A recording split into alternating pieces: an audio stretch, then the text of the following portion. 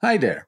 Last time we saw two lesser known tricks in the Unity API that can be either very useful or completely useless to you. Today I have another batch of similar, lesser known tricks. But this time I'm almost sure you'll adopt at least some of them if you weren't familiar with them before. Because I use them all the time. So buckle up.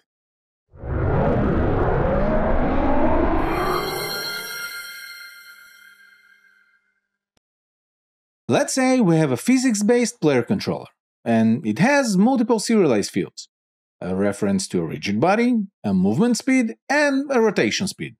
Really minimalistic. Assuming that our component requires the rigid body to be on the same game object, what I often see is this pattern. In Awake, people often check if the rigid body is assigned, and if not, they find the component and assign it manually. Now this is completely valid and the thing I'm going to show you next doesn't necessarily absolve us from doing this. What we can do is search for the component during edit time instead of runtime, potentially saving some performance. And most of you are probably familiar with the next thing I'm going to show you, the onValidate callback. You can put your initialization logic into this method, and if the component wasn't dynamically created, the field will be populated in the editor. But what if I told you that this is the incorrect method to do it? OnValidate is executed every time the component changes.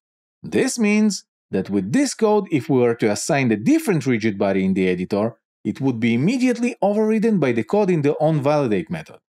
And of course, we can safeguard it the same way I did in the awake method, but there's another way of doing it. Unity has another callback made specifically for this kind of situations. It's called reset. The reset method is executed only once, when the component is added to the object. OnValidate is great for other things or other situations. For example, you might want your rotation speed to be always twice the movement speed, so you can do that during OnValidate. Let's see it in action.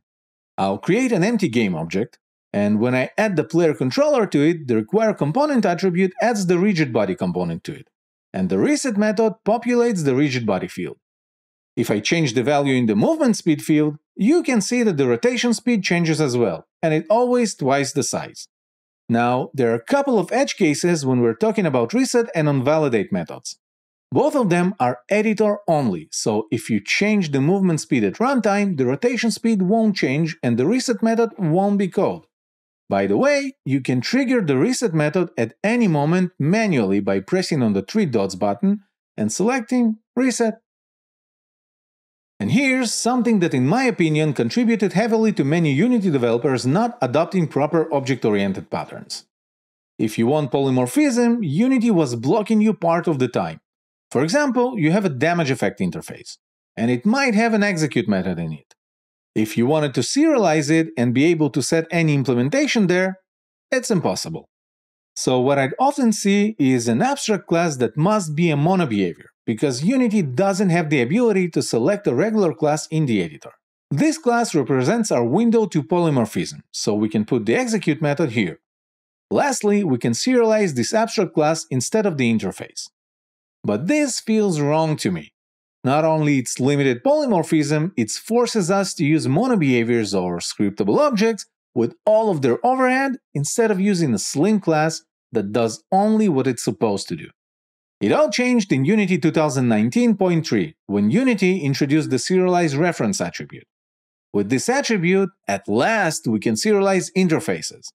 What it does is make the serializer save not only the data of the object, but also its type. Now I can drop the abstract class and start implementing the interface. I'll create two effects. First, fire damage. Notice that this is a regular class, not a monobehavior. It can have some serialized fields like damage and it should implement the interface. I'll just log here. We're doing fire damage with this damage amount. And I also paste the code for ice damage here. Same logic, just logging the data. Lastly, I want to execute the selected effect. So in the start method, I'll just invoke the execute method of the interface. Now, let's go to Unity. I'll create a weapon object and add the weapon component to it. And, oh, Where's the serialization? The thing is, Unity doesn't have a type picker for regular classes. Why is that? Honestly, I don't really know. I mean, it's kind of easy to implement, and we'll get to that shortly, but the power of serialized reference is not only in serializing interfaces. With this attribute, you are actually serializing a reference and not its values, meaning multiple fields can have the same item, just like with monobehaviors but with custom classes. Let me show you what I mean. I'll duplicate the serialized reference, and then in the reset method, I'll create a new instance of fire damage. Then I can assign this instance to both of the fields. Let's get back to Unity to see what it does. You can see that both of the fields are serialized now. Not only that, since it's the same instance, if I change the damage on one of them, the second one also changes. So Unity does know how to serialize any type here. It just doesn't have the type picker, and we can fix that. We can either write our own, or we can just pick up something generic that somebody has already made. There are a couple of solutions online, and you can pick whichever you like most. Here's one long-living solution with a decent number of stars. And I'll leave the links for all of those in the description. I'll just open the terminal and install it via OpenUPM. For other ways of installation, refer to the documentation. Once the package is installed, I need to add the subclass selector attribute to the serialized reference, and that's it. I'll just clean up a little here and get rid of the reset method. Back in the editor, you can see the null value next to the damage effect field. We can open the dropdown and select one of the available types. When selecting any of those, Unity will construct a new instance and assign the reference and immediately we can edit the data of this class. If I change from fire damage to ice damage, the damage field changes to slow amount. Note that the package I've imported only handles the type picker. It has nothing to do with saving data, displaying it in the editor, or letting us modify it. That part is provided by Unity. Now, why Unity hasn't added the type picker in the last 6 years is beyond me, but I guess they have other priorities. The last thing I want is for them to cancel core CLR in favor of a type picker. I've left with only one thing to show you today. It's the add component menu attribute. Most of you are probably familiar with it, but I have two tricks some of you might not know. For those of you who aren't familiar with it, here's what it does. If I have a component, I can specify where to place it in the add component menu. Let's say under my game section with the name my amazing button and I'm not repeating the name of the class on purpose.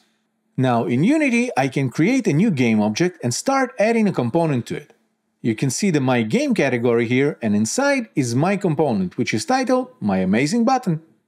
And even when I'm adding this component, it keeps the name I provided in the attribute and not the name of the class. So far, the basics. Now for the tricks. Sometimes you might create a component that you don't want anyone to add manually to an object. It can be something internal that you want to add only programmatically. In that case, you can provide an empty string to the add component menu attribute. Now it will be impossible to add the component manually from the editor, even if I search for the class name directly. The second trick is more interesting. It's not uncommon to create wrappers for frequently used Unity components in order to expand their functionality. For example, a UI button. We might want all buttons in our game to play some sound when they're clicked, or for those of you in the mobile gaming industry to set an analytics event. Instead of inheriting from the monobehavior class, we can inherit directly from the UI button class. Then, in Awake, we can subscribe to our own events.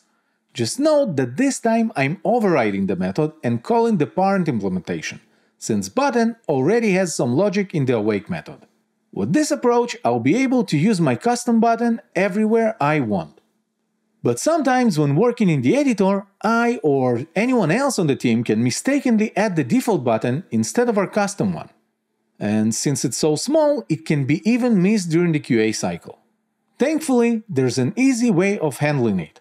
In the Add Component menu, we can supply the exact path of a component we want to override. In my case, it's UI slash button.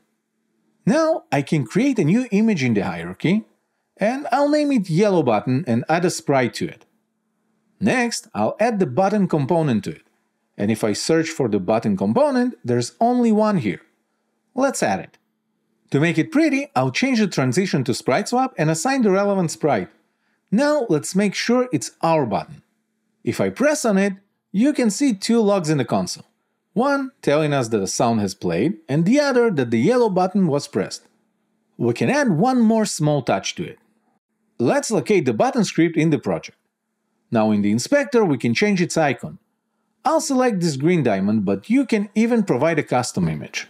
Now in the inspector, when you see the button component, you will see the icon you selected. And that's it for today. Hopefully, at least one of these tricks makes your life a bit easier. Or at least makes you go, hmm. If you got your own weird Unity gems, drop them in the comment section. I always love discovering new stuff. And hey, if you enjoyed this one, hit the like button and maybe consider subscribing. It really helps. Keep on creating, and I'll see you in the next one.